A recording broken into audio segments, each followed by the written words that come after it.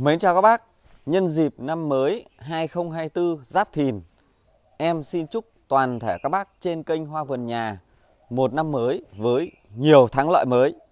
Và hôm nay quay cho các bác xem đây là cây trà mi thâm hồng bát diện, một trong những loại cây trà cổ được chơi khá là phổ biến hiện nay. Khi mà các bác nhìn những cái cây trà mi nó nở hoa này thì à, các bác à, thấy rằng là nó rất là rực rỡ bởi vì à, bản thân cây trà mi nó có rất là nhiều nụ. Người xưa có câu là vua chơi lan, quan chơi trà. Cho nên là những cái cây hoa trà mi nó tượng trưng cho quyền lực, tượng trưng ờ, cho gia đình có vai vế trong xã hội. Đó là ngày xưa. Còn bây giờ cây trà mi được chơi rất là phổ biến từ thành thị tới nông thôn, từ người giàu tới người nghèo, từ người làm quan chức tới người làm công nhân đều chơi cây trà mi. Bản thân em là một người nông dân ở nhà không đi làm gì cả, không nghề không nghiệp, em cũng chơi cây hoa trà mi thâm hồng bát diện, một loại trà mi rất là đẹp các bác nhé. Với những cái cây trà mi như thế này chúng ta rất là dễ chăm sóc, dễ trồng và ít sâu bệnh. Nếu mà các bác đã trồng và chơi cây hoa trà mi rồi thì nó chỉ có một cái nhược điểm duy nhất đó là nó rất là chậm lớn các bác nhé. Kể cả các bác trồng dưới đất hoặc là các bác trồng trên chậu thì các bác cũng thấy rằng là nó chậm lớn lắm ấy. Và khi ờ, các bác ờ, chơi cây hoa trà mi thì ờ, các bác sẽ thấy rằng là nó ra nụ từ tầm tháng 3, tháng 4 âm lịch và tới tận cuối năm thì nó mới nở hoa như thế này để chúng ta có thể chơi hoa trà. Và khi các bác chơi hoa trà vào cái dịp cuối năm, đặc biệt là nó nở được vào cái dịp Tết âm lịch thì là điều tuyệt vời nhất các bác nhé. Và để duy trì những cái hoa trà này nó bền, tức là khi nó bung ra nó lâu dụng thì các bác sẽ sử dụng ờ, một số cái chế phẩm giúp ờ, hoa lâu tàn.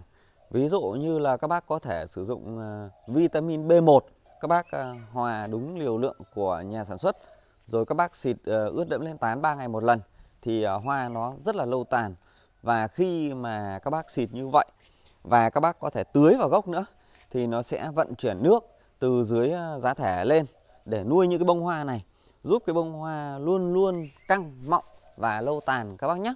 Đó. Và khi mà các bác uh, trồng cây trà mi ấy, thì các bác sẽ thấy rằng là nó sẽ không nở một loạt nhé.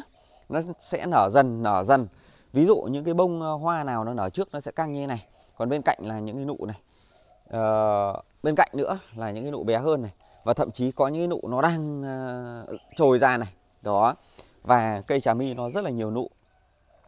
Khi mà cây nó nhiều nụ quá ấy, thì tầm tháng 9 tháng 10 các bác ờ, nên vặt bớt nụ đi.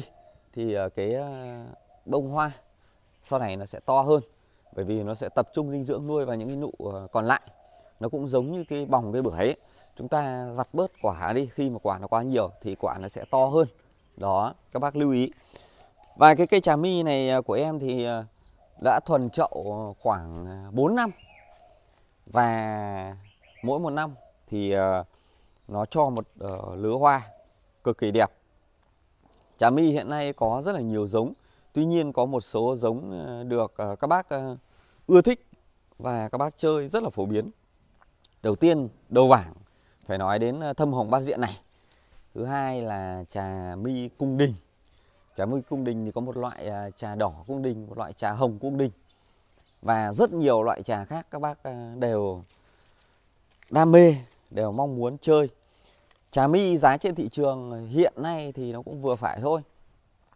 Một cây trà mi ờ, vừa nhỏ thì nó rơi vào từ 100 đến 200 nghìn một cây. Chúng ta mua về, chúng ta nuôi. Còn những cây trà to, những cây trà cổ, thụ rồi thì giá của nó cũng khét đấy các bác ạ. Đó, cho nên là các bác có thể sưu tầm nhé.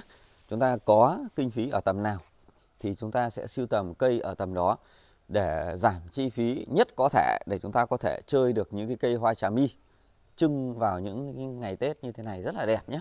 Trà mi là một trong những cây ờ, ưa ánh sáng vừa phải cho nên là nếu mà cái ờ, thời tiết cuối năm mát mẻ thì các bác sẽ đưa ra ngoài trời để cây trà mi nó hấp thụ ánh sáng, nó nhanh nở hoa. Còn nếu mà cái thời tiết ờ, mà nó chuyển nắng nóng, ví dụ tháng 5, tháng 6, tháng 7 của miền Bắc ấy, nắng cháy thì các bác nên chuyển vào vị trí mát, chỉ có nắng buổi sáng thôi. Không là lá này nó sẽ cháy hết nha các bác nhé. Nó không ưa cái nắng quá mạnh đâu, nắng quá gắt đâu. Trà my là một trong những cây chịu ờ, hạn rất là tốt cho nên là các bác cũng không cần cung cấp quá nhiều nước. Duy trì độ ẩm ờ, khoảng 70% cho giá thể là tốt nhất. Và khi trồng thì cần một cái giá thể tơi xốp thông thoáng tránh hiện tượng ờ, úng nước. Úng nước thì sẽ dẫn tới thối rễ. Cây sẽ vàng lá dần và có thể sẽ rụng lá, thậm chí rụng cả lá xanh các bác nhé. Đó. Vừa rồi ờ, ở miền Bắc sông nhiệt thì có nhiều bác ờ, bị rụng lá xanh này. Sông nhiệt tức là cái sự thay đổi nhiệt độ đột ngột. Một là hôm nay nắng nóng, hôm sau lạnh luôn. Hai là có thể là ban ngày nắng nóng, ban đêm lạnh luôn. Hoặc là lúc lạnh, lúc nóng, lúc mưa, lúc nắng sông nhiệt như vậy thì cây nó rất dễ lụng, rụng lá xanh. Có thể rụng cả nụ, sau này nó còn đen cả nụ luôn. Đó cho nên là các bác ờ, trồng những cái cây hoa trong vườn đặc biệt là những cái cây ờ, trà mi nó rất là đẹp. Thì nó cũng gặp một số cái ờ, hiện tượng. Các bác hết sức lưu ý nhé. Bón phân thì đơn giản thôi trà mi nó nhẹ chân lắm.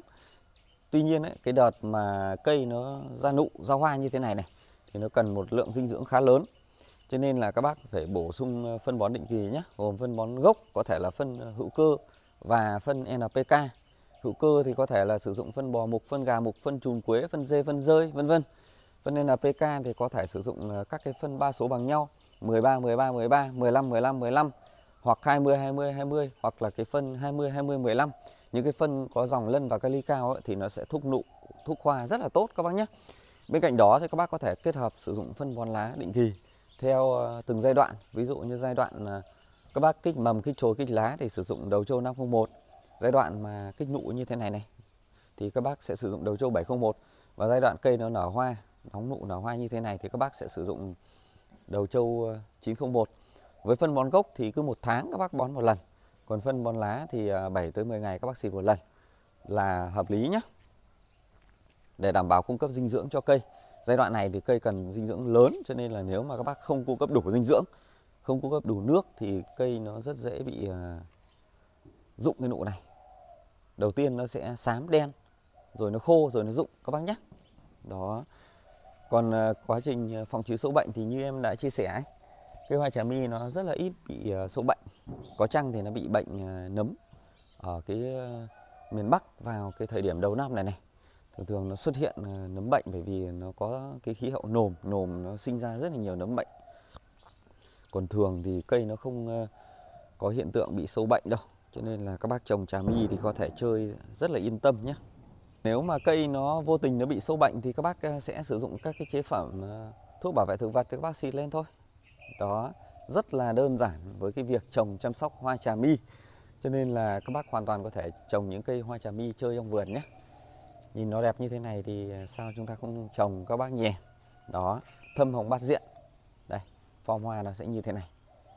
Cảm ơn các bác rất là nhiều đã theo dõi video trên kênh Hoa Vườn Nhà. Các bác xem video trên kênh Hoa Vườn Nhà nhớ nhấn vào nút like, nhấn vào nút đăng ký kênh và nhấn vào nút chuông để ủng hộ em nhé. Hy vọng một năm à, mới Giáp Thìn 2024 sẽ được tất cả các bác ủng hộ kênh Hoa Vườn Nhà, đồng hành cùng kênh Hoa Vườn Nhà để kênh ngày càng phát triển hơn, để chia sẻ những cái kiến thức phục vụ toàn thể các bác trên kênh Hoa Vườn Nhà. Xin chào và hẹn gặp lại các bác. Chúc mừng năm mới.